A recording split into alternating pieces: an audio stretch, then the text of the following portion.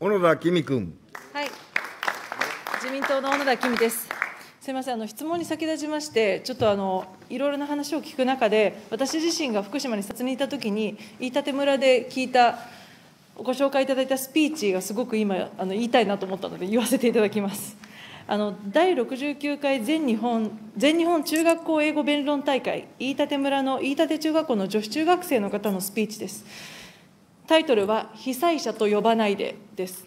これあの、検索していただけたらですね、全文出てくるので、ぜひ全文を読んでいただきたいと思うんですけれども、一部かいつまんでお話しさせていただくと、私には口にしたくない言葉があります。それは被災者という言葉だ。私はもう被災者ではありません。そう呼ばれることにうんざりしています。で彼女自身がインタビューを受けたり、テレビの報道にも接した上で、こう思うと。記事には偏見が入ってしまっていると私はいつも感じます。いつも記事の内容が大げさになってしまっているのです。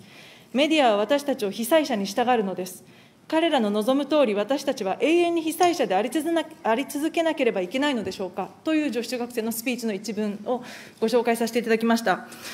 きちんとその被災者に対する対応していくとともに、やはり未来を向いて歩いていく子たちに必要なのは、当たり前にしていくこと、普通の福島を取り戻していくこと、日常を取り戻していくことなんだと、過度にこう特別扱いをするということではないんだということを、私はその場でご紹介いただいて、はっとさせられたので、今日ちょっとここでお話をさせていただきました。その上で、あの原発関連の正しい情報発信について、今日お伺いしたいと思います。まず、アルプス処理水の情報発信への対応について。私自身はこのアルプス処理水の海洋放出決断を大変評価しています。それは他の国の原発が当たり前に行っていることを福島でも当たり前にやっていくことを、特別扱いしないことが重要だと思っているからです。その上で、科学的データに基づかない不安を煽っていくこと、風評被害を招いてしまうようなネガティブキャンペーンがいまだに散見されます。風評被害を起こすのは、データにもと、データをもとにするんじゃなくて、不安なんだ、危ないんだというふうに、そういうふうに煽り立てる人たちだと私は思って憤りを感じてるんですね。で、安心が必要なのは分かります。ただですね、データをもとに説明するんじゃなくて、そうじゃなくて感情で不安なんだ、不安なんだって言ったら、どんなに説明してもデータを出しても、永遠にその終わらないんですよ。あの風評被害が。なので、やっぱりちゃんとデータに基づいて議論をしていく、このことをすべてにしていきたい、その上で経産省として正しい情報を周知するために、どのような取り組みをしているのか教えてください。経済産業省大臣官房原子力事故災害対処審議官、井本圭一君。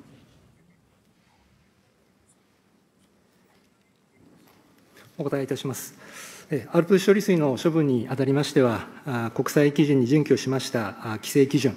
これを遵守することによりまして、安全性に万全を期した上で、実施することとしております。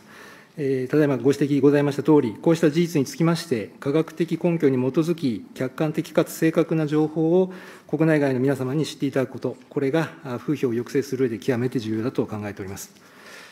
政府では昨年末に取りまとめました行動計画に基づきまして、各省が連携をして、情報発信に努めているところでございます。具体的に申し上げますと、パンフレットや動画、Q&A といった分かりやすいコンテンツの整備、これを広く配布、公開すること、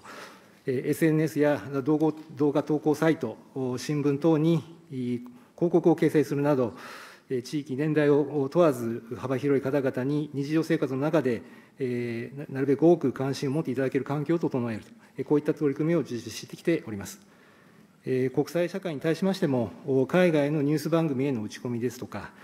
海外の新聞への広告記事の掲載、こういったことによりまして、処分の安全性や必要性の説明を行うなど、現地マスメディアを通用しあ活用した情報発信を行っております。また、原子力の安全性につきましては、これに高い専門性を有します、国際機関である IAEA に、アルプス処理水の性質ですとか、日本の対応につきまして、客観的な立場から、ただいま厳しく確認をしていただいているところです。4月の末には、中国や韓国からの専門家を含みます、こうした IAEA の調査団によるレビューの報告書が公表されたところでございます。この報告書の中では、安全性についてですね、国際安全基準に照らして、放出設備の設計において予防措置が的確に講じられていること、あるいは人への放射線の影響は、規制当局が定めます水準より大幅に小さいこと、こういった安全性に関する確認結果が示されているところです。大変重要な報告書でございますので、こうした内容を幅広く発信することによりまして、政府の基本方針の妥当性を国内外にしっかりと周知してまいります委員長小野田君。ありがとうございます。あの周知の内容について私は悪いと思っているわけではなくてですね、あのトリチウムに関するあの紹介の分かりやすいイラストの紙とかもね、あれね、クレームがあっても撤回すべきじゃなかったと思いますよ、分かりやすくいい発信してるんですよ、それを何回言われたら、ひよってこう戻しちゃったりとか、戦っていかない姿勢がちょっと問題だと思ってるので、情報の内容については私は何も文句はないです。ただですね、このアルプス処理水についてまとめた PDF とか、多言語化して、いろいろあの例えばあのトリチウムですね、世界の原発でトリチウムが年間どれぐらい出てますよっていうもので、日本全然少ないですよ、福島の言われてる量はっていうところに関して資料とか、多言語した多言語化したもののページへのアクセス数どうなっているのか、どういったページや検索ワードからアクセスが多いかとの分析どうなってますでしょうか。湯本圭一君。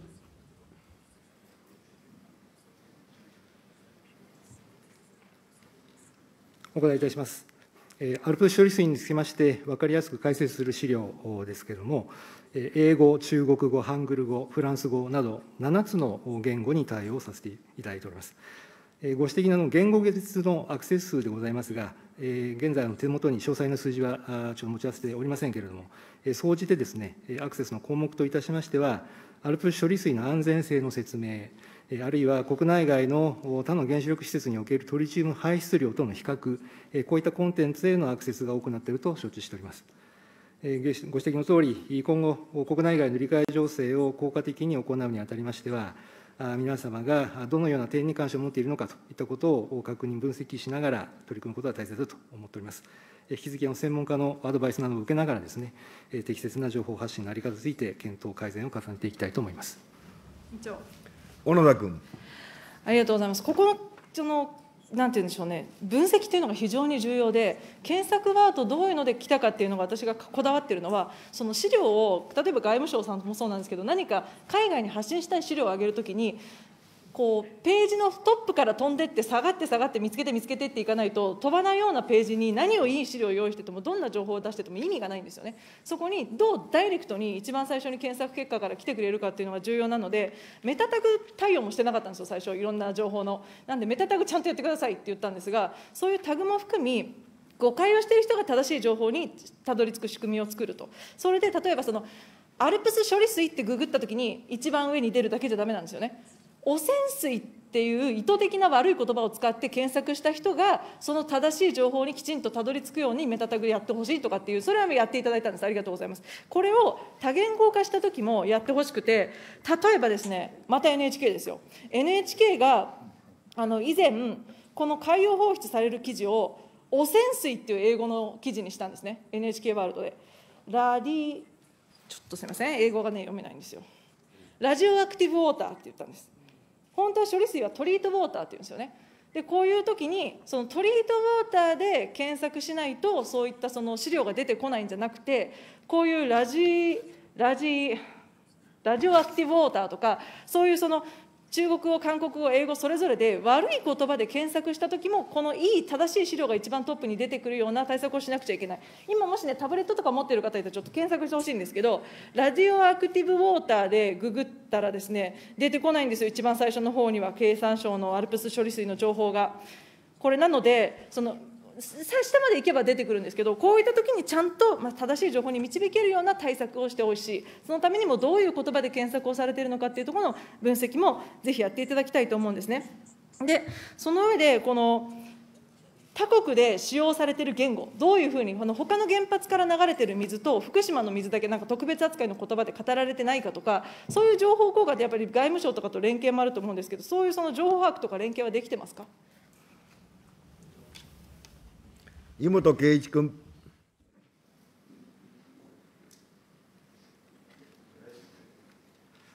お答えいたします。えーと1点目のです、ね、ご指摘、メタタグ対策でございますが、ご指摘をいただきまして、取り組みの方を進めてきてございます。例えばですけれども、汚染水、海洋放出と検索した場合には、これは日本語の場合ですが、検索結果の上部に日本政府の解説ウェブページが表示される、こういった工夫も行っております。それから英語も同じように対応してございますけれども、現在、コンタミネートドウォーターと言い方にしておりますので、あのご指摘のようなものも今後ですね、追加するなど、改善を図っていきたいというふうに思います。それから政府内の連携でございます。これまでも復興大臣の下でですね、関係府省からなります原子力災害における風評被害を含む影響への対策タスクフォースの下で、外務省をはじめまして、関係省庁で連携をしながら、国内外の情報の共有ですとか、対応の調整を行ってきております。具体的に先ほどご指摘あった点につきましてもですね、日々、外務省の在外交換を経由してですね、現地でどういったニュースがされているかと、どういった用語が使われているかといったことも、関係省庁には共有をされてございますので、こういった知見も活用しながら、先ほどご指摘いただいたようなメタタグ対策の方に活用できればと考えております。委員長小野田君。はい、ありがとうございます。この間違ったネガティブな情報を現地のその在外交換でもいろいろ調べてもらってると、それはありがたいなというふうに思ったところなんですが、このえーとまあ、後々出てくると思うんですけど、復興庁のタスクフォースの中で、外務省の取り組みも出ていて、在韓公開等による情報発信というのもあるんですけれども、この今までそのタスクフォースが、えー、外務省、農林水産省、復興庁とかのそのこういうふうに発信をしてますよっていう中にあるのが、大体そのこちらからの提供なんですよ。まあ、あのはい、こういうの取り揃えました、いい情報です、見てくださいって、まあ、確かにそのプッシュ型で広告が出た、それ先ほど再生数が結構あるという話もされたんですけれども、これじゃない戦い方のところ、ちょっと気になってまして、ネガティブな情報を拡散されたときに、それの対応、打ち返しっていうのはどういうふうにしてるんでしょうか？湯本圭一君。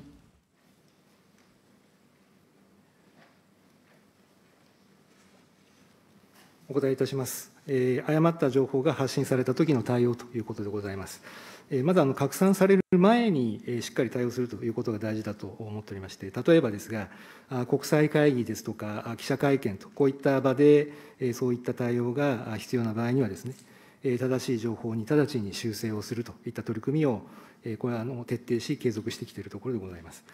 また、外国の政府関係者、あるいは報道機関によるですね、個別の発言等、これ、一つ一つに対して逐次反論をしているものではございませんけれども、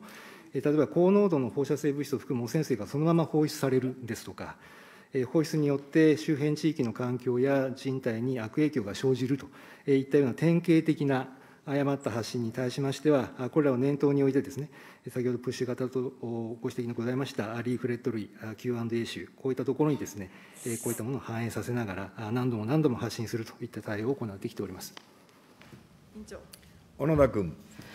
あのこういった情報を見つけてくるのは誰がやってて、でその時に、はい、じゃあちょっとこれに関しては農林水産省が資料を出して、これに対してはどうしてっていう指示を出している統括責任者はどこになりますか？湯本圭一君。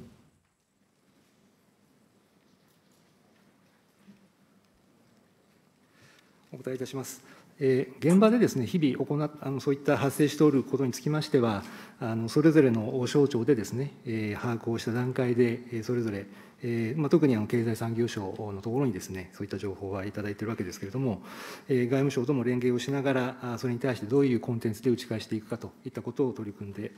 きております。えー、統括責任者という意味におきましては、先ほど申し上げましたけれども、えー復興大臣の下で、え、設置されておりますあのタスクフォース、こちらの方でですね、必要な情報の共有、連携をするということになっておりますので、こういった枠組みを活用しながら、それぞれの省庁が主体性を持って機動的に取り組んでいきたいと思っております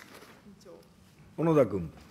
そのタスクフォースの大臣からの指示事項も読んでるんですけど、効果的なメディアを活用し、重症的に発信することで、広く国民に届け、アルプス処理水に対する理解を促進することをうんぬん書いておるんですけど、具体的にじゃあ、こういうところでこういうことがつぶやかれてますよ、はい、こうしてくださいみたいなのって、結局、各省庁がやっていて、じゃあ、例えばですね、あのありましたね、その東京オリンピックでも、うちのおいしい農林水産品に文句つけてきて、なんかこれ、放射能に汚染されてるから、うちの国は自分のとこで食事を用意しますとかっていう、けしからんことをやってきた国があったんですけども、そういう時に対するその地上戦、空中戦での戦い方、どういう対応されたのか教えてください。外務省大臣官房審議官、池松秀弘君。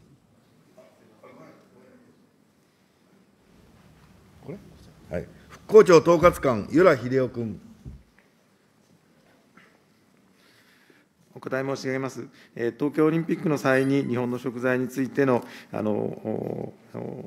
情報発信、いろいろとございました。えー復興五輪でございましたので、えー内閣官房及び官邸と調整しつつ、復興庁が中心となって、各省共同で、えー取り組みを実施し、えー農林水産省、外務省、あるいはオリパラ室、こういったところと協力して取り組みを進めました。小野田君。これがですね、取り組みを進めて、それぞれあの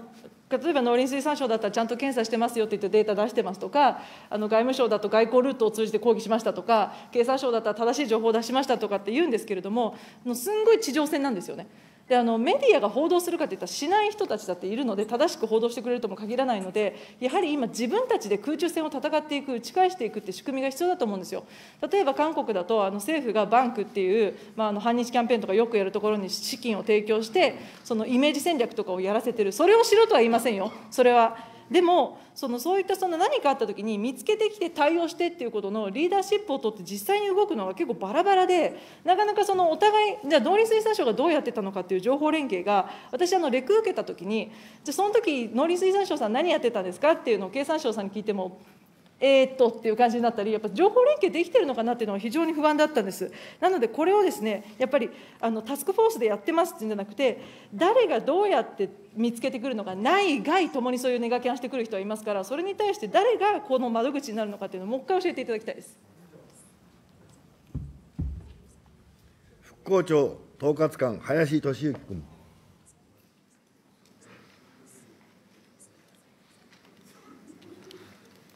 えーお答えをいたします。あの先ほど委員があの例示でお取り上げいただきました、オリパラ時のあの韓国の、えー先進向けの食品をめぐるえー行動につきましては、あの当時ですね、えー実はあの選手村のその食事を提供する場所というのが、まあ、2種類ございまして、直接的にその日本産食品、特にあの福島県産の食品を安全性をアピールする、まあ、そういう掲示が認められていなかったので、オリパラ事務局を通じまして、IOC にも働きかけをしていただいて、あの当時、あの臨時的にあの、選手の方たち向けに、地元のその高校生が、主題主役になったポスターをちょっと作っていただいて、あの実は福島県では毎日、検査食品の安全性について、リアルタイムで情報提供してますので、そこのホームページとリンクを貼らせていただいて、そういうまあポスターの掲示をしていただきました。でまた農水省農林水産農水省におきましてはですね、当時あの福島農協が非常に協力をいただいてあの福島で行われたソフトボールのですねあのチームに県産の桃をあの実実食をしていただきました結果的にこれが非常にあの効果的でございましてあのオーストラリアですとか当時の監督の皆さんからあのデリシャスっていうあの発言をいただいて、結果的にこれが非常にあの県産品の安全性と魅力のアピールにつながったと考えております。委員長小野田君。あのまあ、その時はありがとうございましたんですけど、これから何かあった時に打ち返す組織体制をちゃんと作っておかないと、即座に反応できないので、それをやっていただきたいということ、で外務省とかもいつも歴史戦で負けてるのが、その民間人が頑張ってるんですよ、民間人がこんなことやってるやつがいるっていうのを見つけてきて、なんとかしてくださいって言うんですけど、それって本来、国が窓口、通報窓口みたいなのを用意して、情報を民間の方がくださったら、しっかり国が対応するっていうような、そういうような状況を作ってもいいと思うんですけど、外務省さん、やれませんかね、通報窓口。外務省大臣官房審議官、池松秀弘君。